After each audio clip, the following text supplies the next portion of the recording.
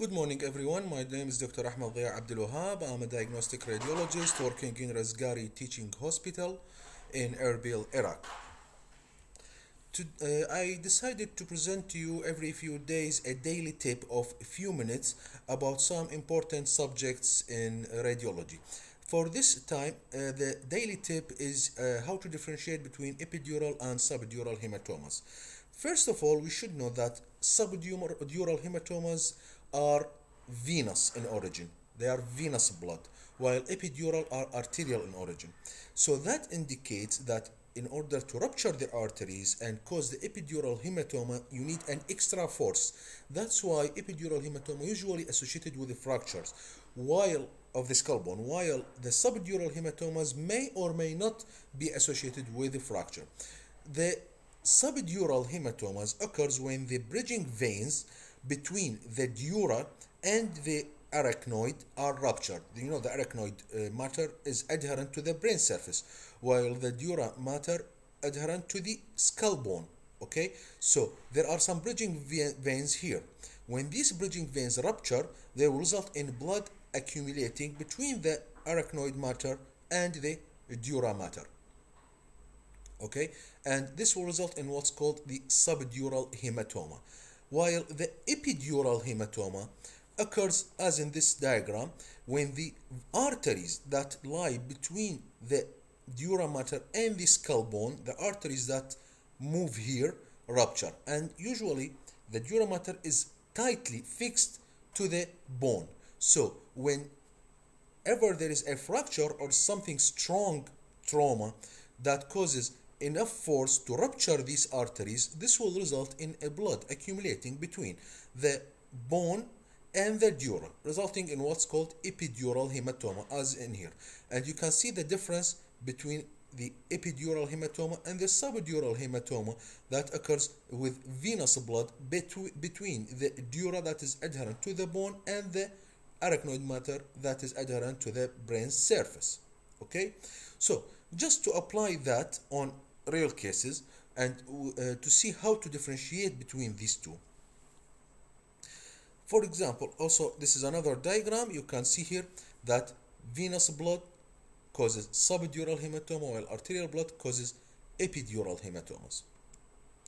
Again, another diagram showing the origin of epidural hematoma accumulating blood between the bone and the dura mater.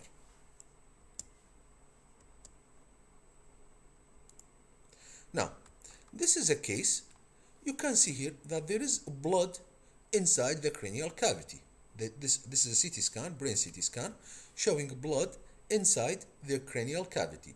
So, the question now is what kind of hematoma is that? Where is the location of this blood?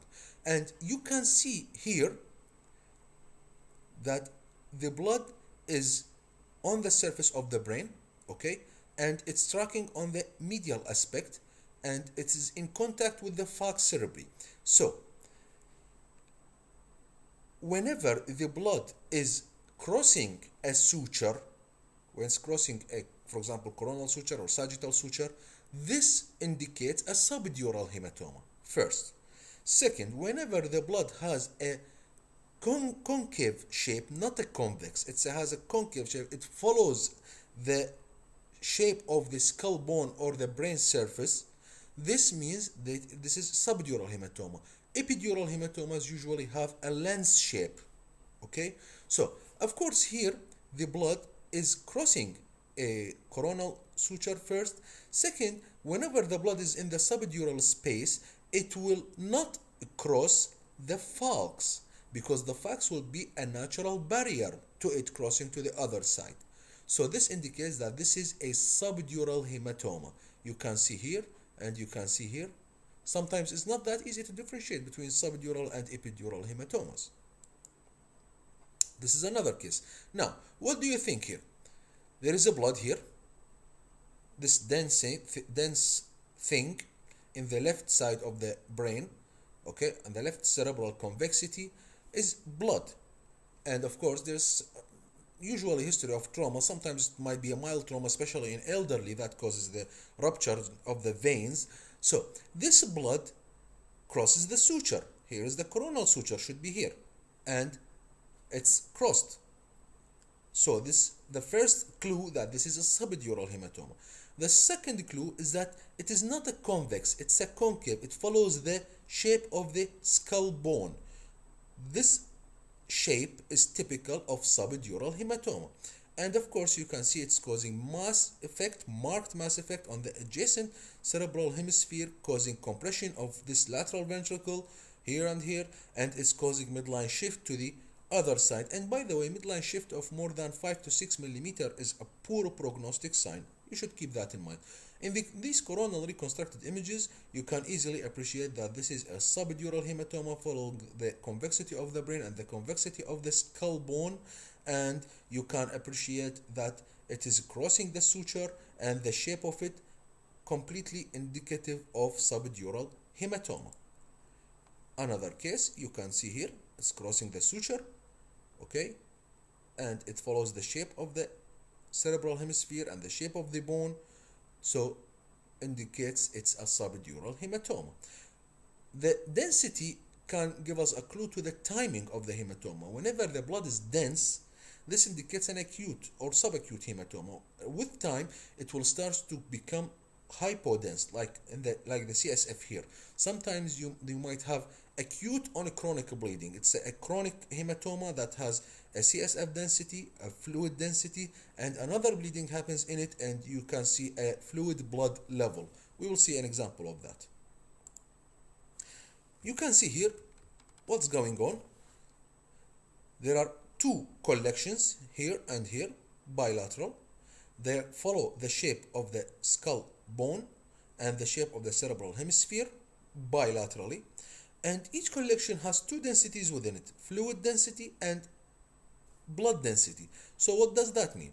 That means there are uh, there are bilateral subdural hematomas large ones causing compression of the cerebral hemisphere. These are compressed. This is not a brain normal okay? And each cerebral hem, uh, subdural hematoma it's chronic in nature because it has a fluid density within it. This is looks just uh, almost the same as the CSF and there is another bleeding in it causing an acute episode with resultant fluid blood level. So there is a bilateral acute on chronic subdural hematomas. In the coronally reconstructed images you can see that the right side the cut is taken just right here in the in this area take showing the dense part of the right side because it's more and the fluid part of the left side here the right side is dense and the left side is fluid because it has less bleeding. What about this case? First there is a density here definitely. This density is convex okay? It's convex in shape. It does not follow the shape of the skull bone or the cerebral hemisphere. It does not cross the coronal suture and it's causing mass effect on the brain. You can see the midline is shifted like that and the lateral ventricle is compressed. This indicates an epidural hematoma. The blood is collected between the bone and the dura. Again you can see this one here. Convex shape not following the brain and it's stopping at the edge of the falx cerebri indicating a subdural hematoma uh, an epidural hematoma sorry. Another example you can see a lens shaped has convex uh, borders does not follow the shape of the skull bone or the shape of cerebral hemisphere does not cross a suture causing mass effect on the adjacent lateral ventricle indicating an epidural hematoma. Another example of an epidural hematoma with two densities in it fluid and blood indicating chronic that has fluid density with an acute episode of bleeding that has a higher density, resulting in acute on chronic epidural hematoma. Another example you can see easily appreciated here. There is a hematoma with two convex borders causing mass effect on the adjacent brain. Not crossing the suture, indicating epidural hematoma, which again has an arterial blood origin. Now, what's this? What do you think is that? let's see it's a flu- fluid collection between the skull bone and the brain it has a convex shape sorry a concave shape it follows the surface of the brain and the shape of the skull bone indicating it's an subdural hematoma. It crosses the suture the coronal suture is crossed here and it has two densities as fluid and the blood density. So there is a new bleeding in an old hematoma indicating acute or on chronic subdural hematoma. Another example you can see here there is this density this dense collection has a conve- convex border. It is not parallel to the skull bone not parallel to the cerebral hemisphere. It's causing mass effect on the adjacent lateral ventricle and it stopped here at the falx and at the uh, sagittal suture. It does not cross any suture.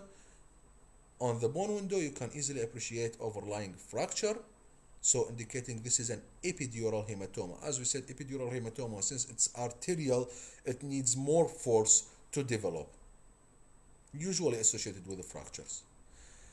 And that will be it. Thank you for listening and if you have any questions we are ready to answer. Thank you. See you next time